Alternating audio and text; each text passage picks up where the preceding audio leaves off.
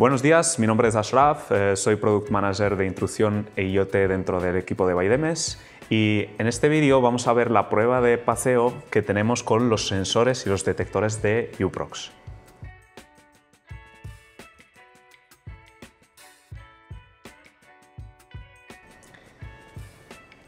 Dentro de los paneles de UPROX disponemos de diferentes herramientas, una de ellas es la prueba de señal y también disponemos de una función o una prueba que es la prueba de paseo.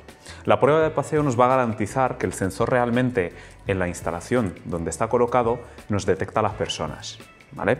Para ello vamos a abrir la aplicación, vamos a entrar en la aplicación de UPROX Installer y vamos a seleccionar nuestro panel. En este caso estoy seleccionando el panel Showroom BSN y vamos a seleccionar el detector al que queremos realizar la prueba de paseo para garantizar si está detectando donde está colocado. Entramos en el PIR exterior, que es, es este sensor en este caso, bajamos a la última opción donde pone ejecutar test.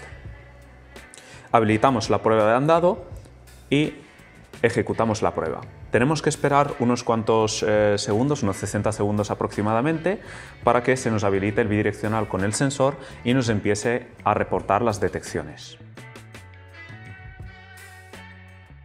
Eh, como vemos en pantalla está actualmente en verde lo que es el PIR eh, exterior y ahora se ha puesto en ámbar porque justamente ha detectado alguna detección. Cada vez que detecta el sensor se nos pondrá en ámbar. Aquí veis que se nos ha puesto ya en ámbar. Eso quiere decir que ha detectado correctamente. Entonces podemos movernos por diferentes eh, distancias y realizar la comprobación y garantizar que realmente la instalación se está detectando correctamente. Una vez completada la prueba, seleccionamos el botón Completar prueba y automáticamente el panel pondrá en modo reposo el sensor exterior.